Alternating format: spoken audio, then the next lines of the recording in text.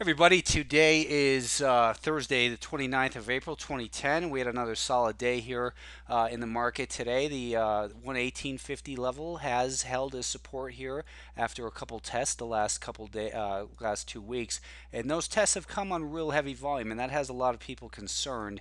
That is that the heavier volume is coming on the sell-off days, and I accidentally uh, put the uh, reference the wrong day. But we had the same thing, if you recall, back here in late March, where we had a couple of heavy volume sell-off days. Uh, those days are, are, actually kind of dwarfed now because the average daily volume in the SPY is advancing right now, has been for the last couple weeks.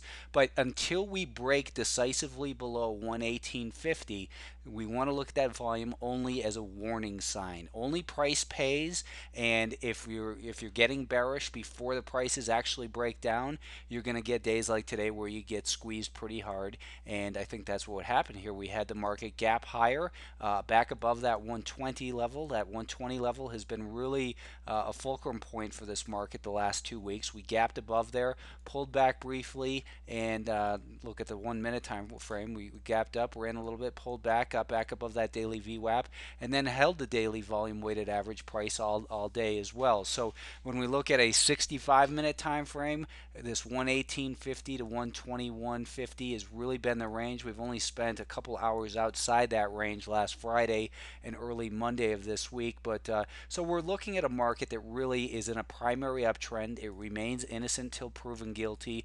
A lot of people are looking for this market to crack. Um, the evidence just isn't there yet until it breaks support. And right now, the uh, most relevant support is 118.50 and holds below there for a half hour or so.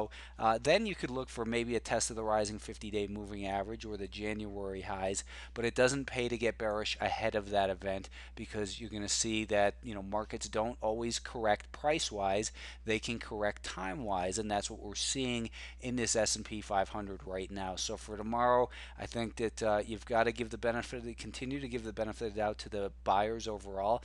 But as we get up towards the high end of this range, that 121.50 area, you want to start think that uh, you know you look for evidence that the buyers are slowing down, and it continues to be a fantastic environment for individual stock ideas, and really that's what your focus ought to be is the individual stocks right now, not so much the market because there's just some fantastic uptrends, and uh, you know check in at alphatrends.net to see uh, see what those ideas are.